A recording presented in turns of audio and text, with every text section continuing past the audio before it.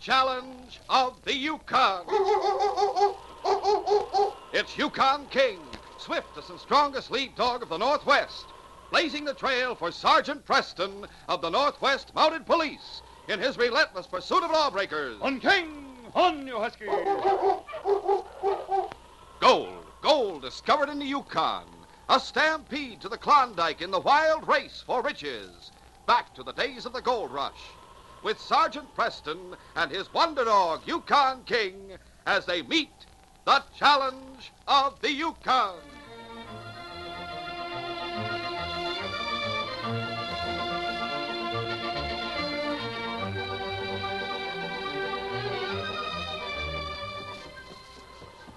Sergeant Preston was driving along the trail to Wolf Creek when he sighted a team heading toward him from the opposite direction.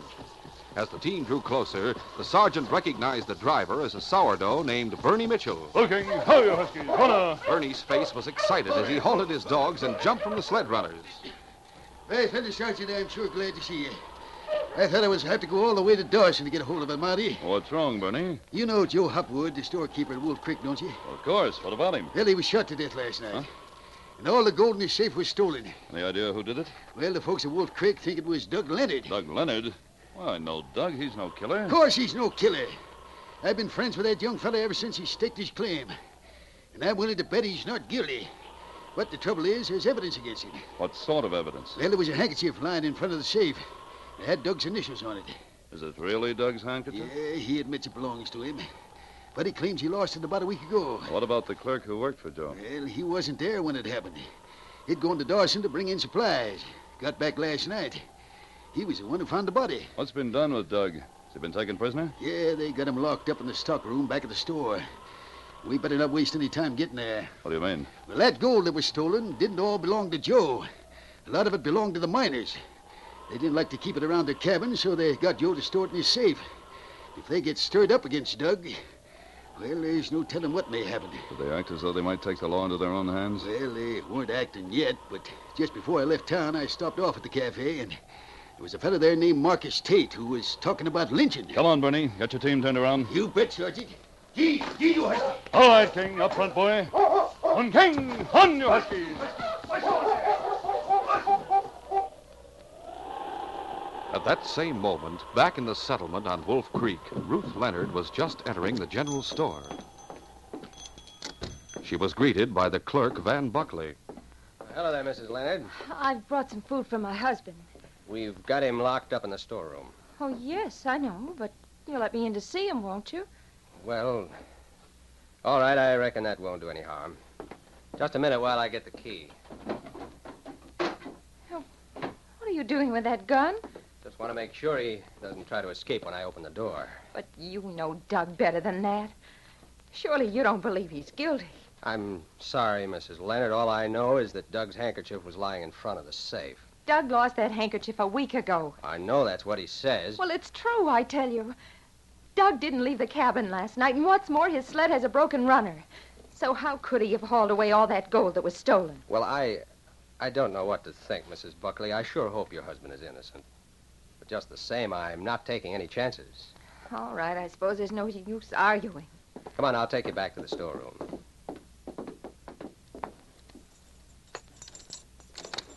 Ruth, honey. Hello, darling. If you don't mind, I think I'd better lock the door. Well, go ahead. When you're ready to go, you uh, knock on the door and I'll let you out.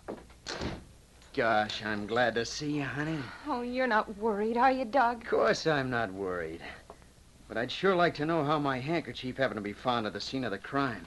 Well, whoever murdered Joe Hopwood must have planted it there. Yeah, if only I could prove that. Oh, Doug, listen.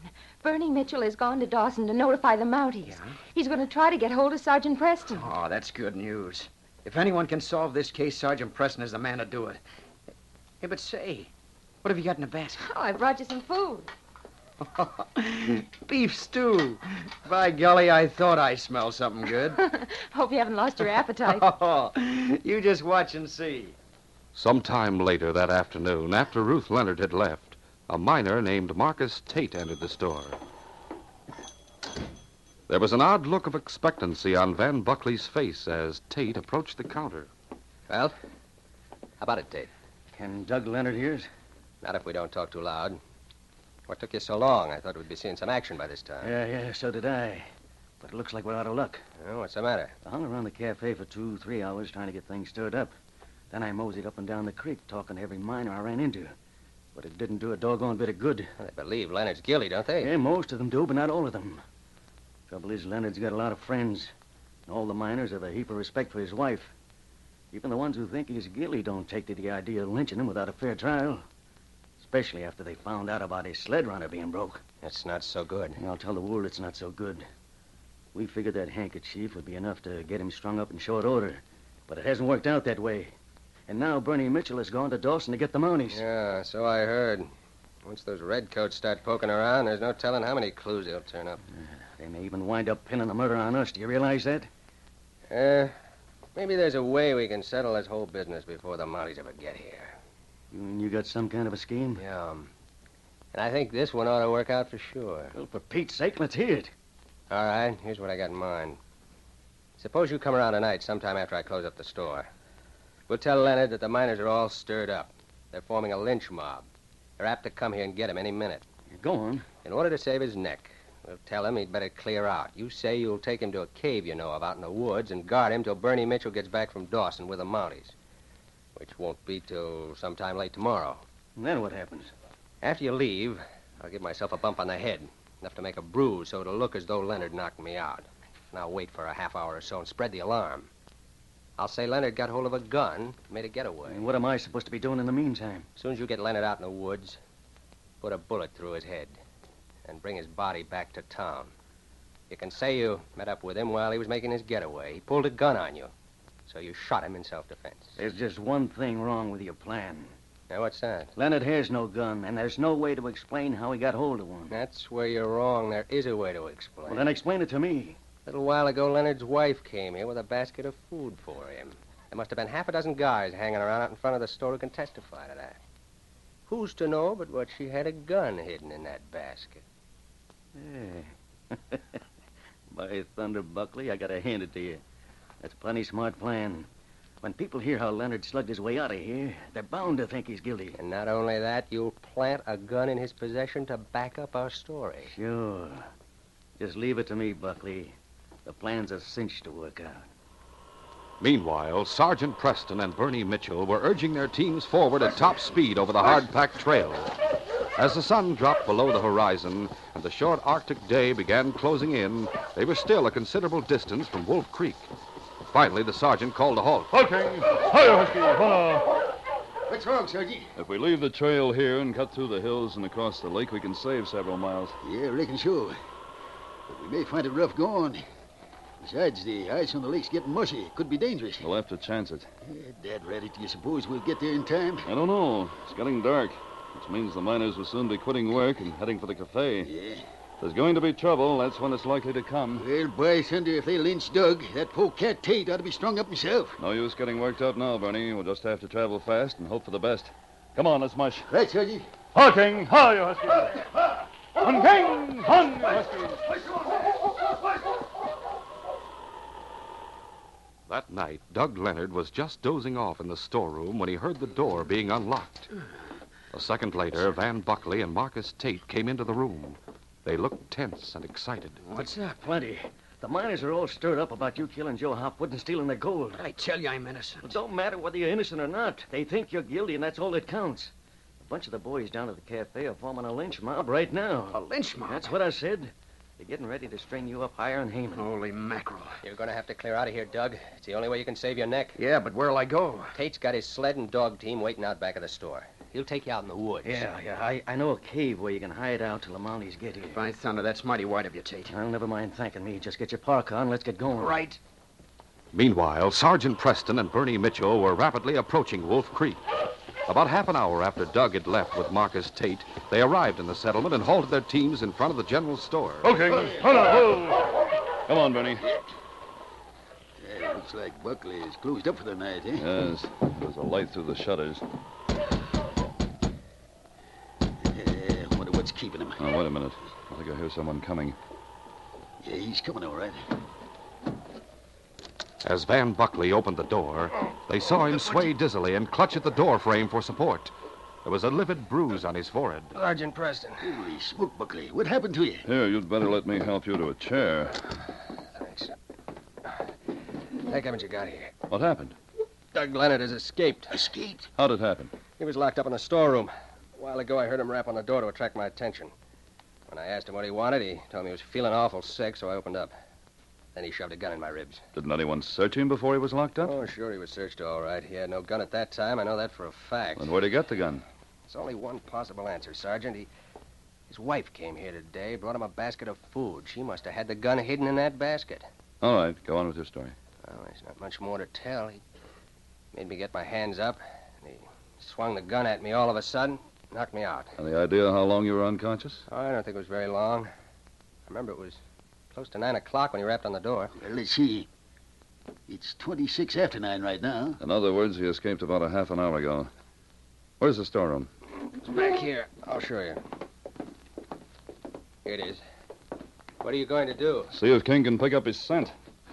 Did he use this blanket at all? Uh, yeah, he was lying on it part of the time. Here, King. Fine, boy, fine.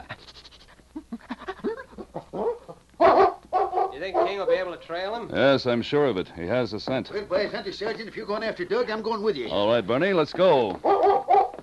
After leaving the general store, Doug and Marcus Tate had headed northward along a narrow trail which penetrated deep into the forest that bordered Wolf Creek.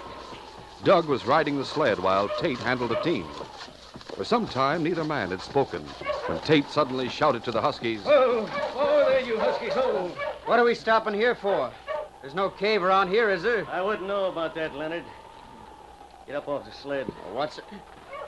Hey, what's the idea of the gun? I said get up off the sled. What are you going to do? I'll tell you what I'm going to do. I'm going to put a bullet right through your heart. I don't get this. It doesn't make sense.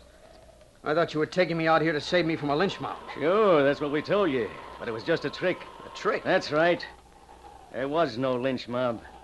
We just told you that story so you'd come along peaceable like. Fact of the matter is, Buckley's going to say you got hold of a gun and escaped. When the miners hear that, they'll all be convinced you're guilty. Wait a minute. Now I'm beginning to understand. It must have been you and Buckley who framed me in the first place. And it was you two who killed Joe Hopwood. Hey, you catch on fast, Leonard. Sure, it was me and Buckley who killed Hopwood. Then after I cleared out with the gold, Buckley spread that cock and bull story about coming back to the store and finding his boss dead. yeah, but what about my handkerchief? How did you get hold of that? It so happens you lost that handkerchief at the store. Dropped out of your pocket one day when you went to pay the bill. Buckley found it, and that's what gave him the idea of framing you. We As Doug kept Tate talking, his mind was working at a feverish pace. Suddenly, a plan occurred to him, a plan that offered a slim ray of hope. You and Buckley are mighty smart, Tate. But even though you get away with Hopwood's murder, you can't get away with killing me. What makes you think not? Because there's no one you can frame for my murder. We won't have to frame anybody. You see, I'm going to claim I met up with you accidentally while you were making your getaway. I'll say you pulled a gun on me, so I had to plug you in, in self. Hey, what do you keep looking over my shoulder for all the time? I, I wasn't looking over your shoulder. Oh, yes, you were. Suppose you're trying to make me think someone's sneaking out in back of me, Don't huh? be a fool. How could anyone sneak up in back of you without you hearing him? Hey, Thunder, you're up to something, Leonard. Reckon I better plug you Grab right- him, Bernie. Hey, what the... In spite of himself, Tate was thrown off guard by Doug's sudden shout. Instantly, Doug sprang at him, grabbing his gun arm. For several moments, the two men struggled desperately, and then suddenly the gun went off. Oh. With a groan, Tate collapsed in the snow. Doug stared at him, wide eyed and horror stricken. I, I've killed him. A terrible realization swept over Doug's mind. Oh, Who would believe his version of what had happened? Especially after Buckley had spread word that he escaped from the store at gunpoint. Instead of being accused of one murder, he would now be accused of two. I've got to get away from here. Almost instinctively, Doug picked up the gun which had fallen from Tate's hand. He stuffed it in the pocket of his parka, and then he ran toward the sled and grabbed hold of the handlebars. Mush! Mush, you huskies! Mush! Urging the team forward at top speed, Doug continued along the same trail for about half a mile, and then he turned off on a branch trail which would take him to his own cabin. When he arrived there a short time later, a light in the window told him that Ruth was still awake. Ho, ho, ho down, boys. Ho. Doug! Doug, what's happened? Tell me. I just killed a man. Killed a man? Oh, no, I don't believe it. It's true, I tell you, honey. Oh, not Van Buckley. No, no. Marcus Tate. Oh, for heaven's sake, darling. Sit down and tell me the whole story. Yeah, yeah. Tate came to the store tonight. He and Buckley told me that a mob was forming the cafe. A lynch mob. They told me I'd have to clear out in order to save my neck. You mean Buckley let you go free? Yeah, yeah, but it was just a trick. A trick? That's right, honey. He and Tate cooked it up between them. And what's more, they killed Joe Hopwood. Oh, Doug, are you sure? Sure, I'm sure, the dirty skunks. Wait till I tell you what happened. Tate said he'd take me out to a cave he knew of. A place where I could hide out till things quieted down. But after we got up in the woods a ways, he pulled a gun on me. But why? To kill me, that's why. Don't you see, honey? Buckley's going to say I escaped from the store. That'll convince everyone that I'm guilty. Then Tate was going to claim that he met up with me in the woods. That I pulled a gun and he had to shoot in self-defense. Oh, you still haven't told me what happened. Well, after Tate pulled the gun, I grappled with him. And the gun went off accidentally. And killed Tate. That's right. I, I left him lying back in the woods. Oh, Oh, Doug, this whole thing is a nightmare. It's worse than a nightmare, honey. This is real. Before, I had a chance of convincing the Mounties that I'm innocent. But now, if they catch me, I'm certain to hang. The scent was fresh. And with King leading the way, Sergeant Preston and Bernie Mitchell soon arrived at the spot where the shooting had taken place. They saw a man's body sprawled in the snow. Okay, hold on, Husky. Hold on. Hey, holy mackerel. It's Marcus Tate. Marcus Tate. And this is the man who was talking against Doug at the cafe this morning. Yeah, that's right, Sergeant. You suppose Doug shot him? Looks that way, Bernie. There's only one other set of footprints in the snow besides Tate's. Chances are they're Doug's. Is Tate dead? No, his pulse is still beating. Bullet went through his shoulder. The sergeant took a small flask of brandy from his sled and forced a little between the wounded man's lips. Tate's eyes flickered momentarily. Then he lost consciousness again. He's in a state of shock. I'll put a bandage on his wound. Bernie Mitchell watched as the sergeant attended to the wounded man. I, Thunder, I still can't believe that Doug is a killer. There are a lot of things about this case that don't ring true, Bernie. What do you mean? Well, for one thing, why didn't Doug tie Buckley or lock him in the storeroom before he made his getaway? Well, maybe he didn't think it was necessary. After all, he had knocked him unconscious. Yes, but how long could Doug count on him staying that way? Buckley might have come to a minute later and spread the alarm. By golly, that's true. Another thing that seems strange is the fact that he hit Buckley on the forehead. Uh, what's strange about that? A natural thing would have been to make his victim turn around before hitting him. That way, there'd be no danger of Buckley grabbing his arm and putting up a fight. Say, you don't suppose Buckley was telling us a pack of lies, do you? I don't know what to make of it, Bernie. The oddest thing of all is that Tate and Doug were traveling together. How do you figure that out? You can see for yourself there's only one set of sled tracks. Say, that's right. Well, doggone, this sure beats me. Well, Bandage will do for the time being. Going to put him on your sled, Bernie. Right, I'll take his feet. What do you want me to do, Sergeant? Take him back to the store. Yeah? Buckley will have what's needed to dress the wound properly, and in the meantime, King and I will follow Doug's trail. Okay, Sergeant. Good luck to you. Thanks, Bernie. All right, boys. Up front. Line the team. Line them up, Buck! On King! On, you huskies! Push! Push, you huskies! Push!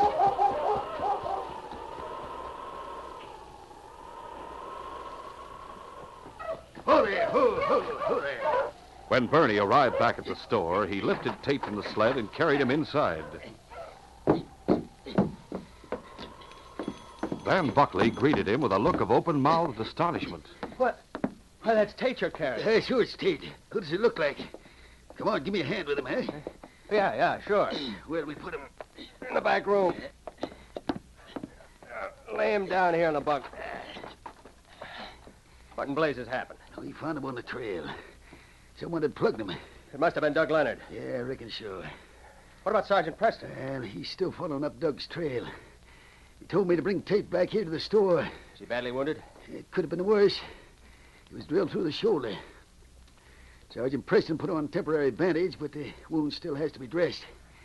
The sergeant figured he ought to have what was needed here at the store. Sure, I have antiseptic and bandages. All right, get him out. Start heating some water. We'll see if we can't get this fella patched up proper. Doug Leonard sat at the table in his cabin with his head propped up in his hands. Ruth was bending over him sympathetically. Doug, you've got to give yourself up. It's the only way. I tell you, I can't, honey. If I do, I'm sure to be convicted. Well, if you don't, it'll be taken as an admission of guilt. What difference does that make? No one will ever believe my story now. Buckley will claim I escaped from the store to avoid hanging. And it'll look as though I shot Tate when he tried to stop me from making a getaway.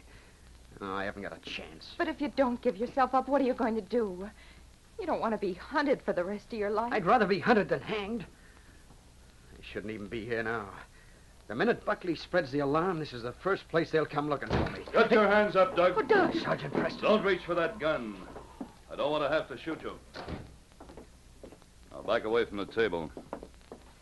That's better. Now then, I have your gun, so you may put your hands down. Oh, I. I suppose you've come to arrest me. I may arrest you eventually. First, I want to hear your story of what happened tonight. All right. You won't believe me, but what I'm going to tell you is the truth, Sergeant. In the first place, I didn't escape from the store, as Buckley has no doubt told you. He and Tate tricked me into going Tricked you? How? by telling me the miners were all stirred up and a mob was coming to lynch me. Tate offered to take me out to a cave he knew of where I could hide out temporarily. I see. What happened after you and Tate got out in the woods? Uh, he pulled a gun on me. He said he was going to kill me and then claimed he had to shoot in self-defense. And by luck, I managed to catch him off guard. We grappled for the gun and, well, it, it went off and Tate was killed. No, Doug, you're wrong. Wrong. What do you mean? Tate wasn't killed. He was only wounded. What? Doug. Are you sure of that? Of course, I'm sure. I bandaged his wound. Oh, Doug, isn't that wonderful? Oh, I can hardly believe it. And I. I suppose you don't believe the story I've just told you, do you, Sergeant? On the contrary, Doug, I do believe it. It's the only explanation that accounts for all the facts. But what about the murder of Joe Hopwood? Tate have anything to say about that? He admitted that he and Van Buckley had done it. That's why they staged this business tonight. They wanted to convince everyone I was guilty. I suppose they planted your handkerchief in front of the safe. Yeah, that's right, Sergeant. Mm. It turned out I'd lost it at the store and Buckley found it. That's what gave him the idea of framing me. I see. Sergeant, does this mean Doug may go free? Well, I can't guarantee that just yet, Ruth. Even though I believe Doug's story, the miners may want him brought to trial. Aside from what Tate told Doug, which of course he'd deny in court, we have no definite proof that he and Buckley are guilty. Oh, what sort of proof can we possibly get? The most convincing proof would be to find the stolen gold in their possession. They must have hidden it away somewhere. Well, they won't have it lying around out in the open, that's for sure.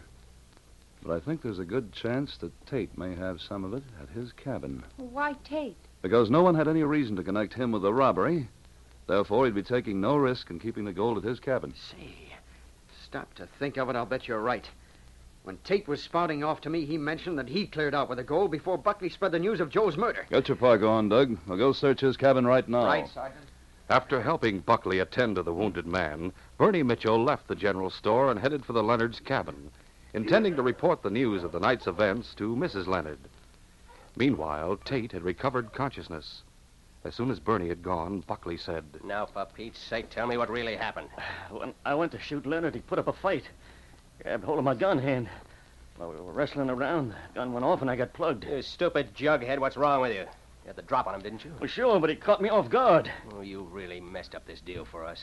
When Preston catches up with Leonard, that guy's gonna talk his head off. Well, let him talk.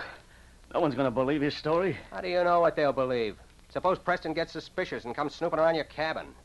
Holy mackerel, I, I never thought about that. Well, start thinking about it. We better get that gold out of there pronto. Find some other place to hide it. You feel strong enough to make it down the creek to your cabin? Uh, not on foot, I don't, but I reckon I'll be all right if you take me there on your sled. All right, let's get going. As Van Buckley and Marcus Tate left the general store, the sergeant and Doug were just arriving at Tate's cabin. Hooking. Come on, Doug. We'll go inside. Right.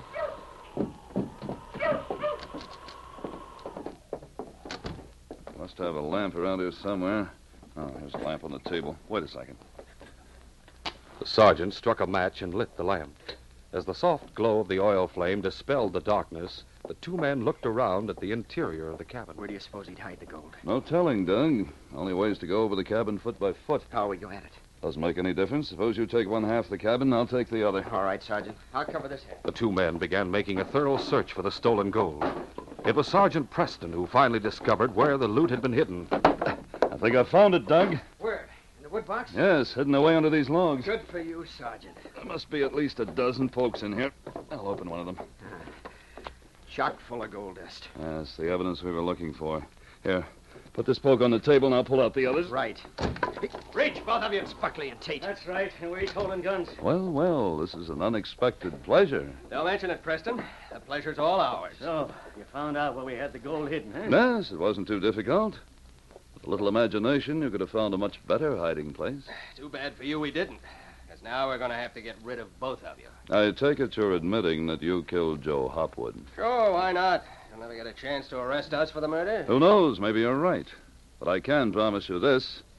No matter where you go or how much you try to cover up your crime, the Northwest Mounted As the sergeant kept the crook's and send you attention focused on himself, he could see King out of the corner of his eye, moving cautiously along the wall. You're mighty sure of yourself, aren't you, Preston? Yes, you'll soon know why. Take him, King! As Buckley went down under King's attack, he knocked against the other crook's wounded shoulder. Oh, With a gasp of pain, Tate swerved to fire at King, but the sergeant's gun flashed out of its holster. Oh, my hands! Stand right where you are, Tate. Call off this dog! Get him away from me! Ah! Pick up the guns, Doug, while I keep them covered. Right, Sergeant. I have them. All right, King. On guard, boy. Get up on your feet, Buckley. And both of you back up against that wall. I'm arresting you in the name of the Crown for the murder of Joe Hopwood. Sergeant, that was some shooting the way you blasted that gun out of Tate's hand. I wouldn't have had a chance to shoot if it hadn't been for King. Ah, believe me, I'm mighty grateful to both of you. You cleared me of a murder charge, and King saved our lives. Not the first time he saved my life, Doug, and it probably won't be the last. However, we've captured the real killers of Joe Hopwood, and we have the evidence we need to convict them, which means that this case is closed.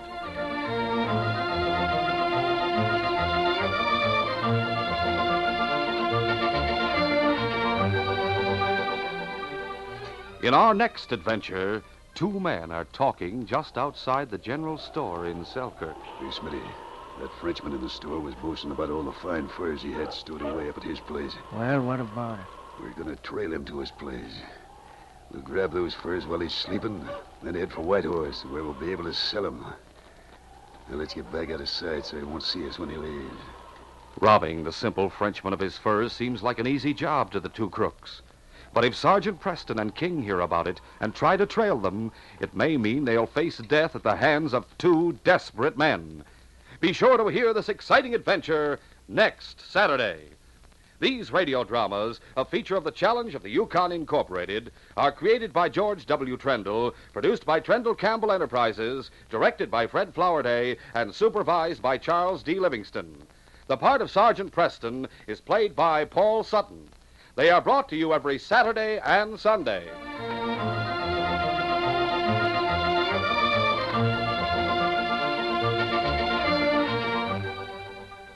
This is Jay Michael wishing you goodbye and good luck until next Saturday. This program came from Detroit. Today's most popular heroes of outdoor adventure are heard every weekday afternoon from 5 to 6 o'clock. Monday, Wednesday, and Friday, Mark Trail roams the wilderness. Clyde Beatty defies the beasts of the jungle. And Victor Borge entertains with five minutes of musical laughs. Tuesday and Thursday, there are the Indian heroes Straight Arrow riding to uphold justice, Sky King zooming to supersonic action, and Bobby Benson, the cowboy kid, in tales of Western daring. Listen to Mutual's Hour for Fun with Mark Trail, Clyde Beatty, Victor Borge, Straight Arrow, Sky King, and Bobby Benson over most of these stations every weekday afternoon. This is the Mutual Broadcasting System.